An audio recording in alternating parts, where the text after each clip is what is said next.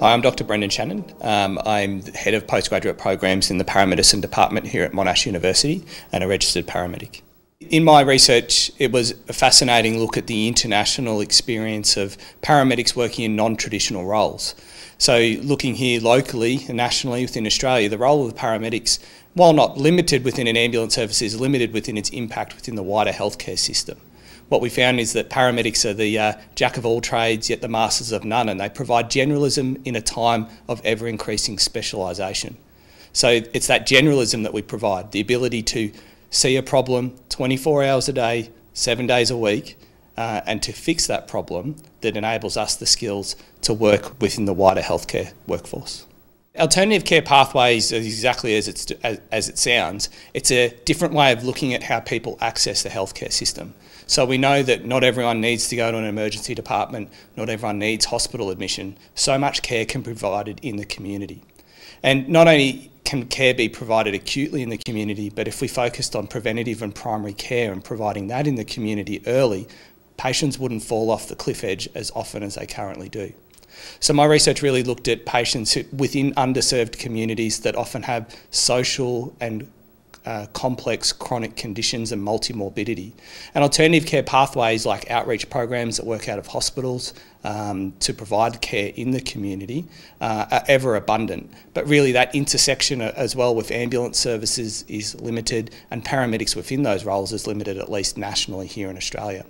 But we know that the international experience through community paramedicine programs use paramedics in a proactive outreach manner, not just responding to triple O or 911 or 999 calls, and are truly integrated within the wider healthcare system, affording access to patients that care those who need it most. My research showed that these outreach teams have an impact on reducing readmission rates and they do get to the intended patient group that they're trying to get to, but paramedics are not involved. Internationally, we see this used, particularly in Canada and the UK, and it's a real shame to not see paramedics afforded the same opportunity to provide our generalist skill set to these outreach teams, because paramedics work from day one in the community. Not many other health professions do that from day one. So we're ready, willing and able to go. Community paramedicine is an evolving area of using paramedics in a non-traditional way that isn't just responding to triple O or emergency calls. It's paramedics proactively going out to patients within the community that we know have decreasing access or increasing healthcare needs. So this might look like a paramedic with a client list going out and seeing patients with CCF to ensure that they don't end up having exacerbation. Whereas traditionally we might see paramedics only responding to patients when they're in an emergency situation, particularly for patients with chronic diseases uh, who are having that exacerbation. So that's really a key distinction and, and really sums up well what community paramedicine is. Paramedicine as a profession is and as a job is wonderful.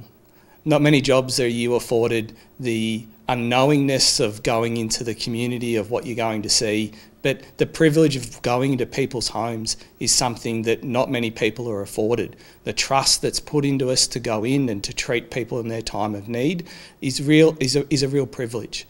And my guiding advice to anyone wanting to do it is simply do it. If it's something that you actually are genuinely concerned about helping others, because at the core, that's what the job's about helping others, particularly at the time that they need it most.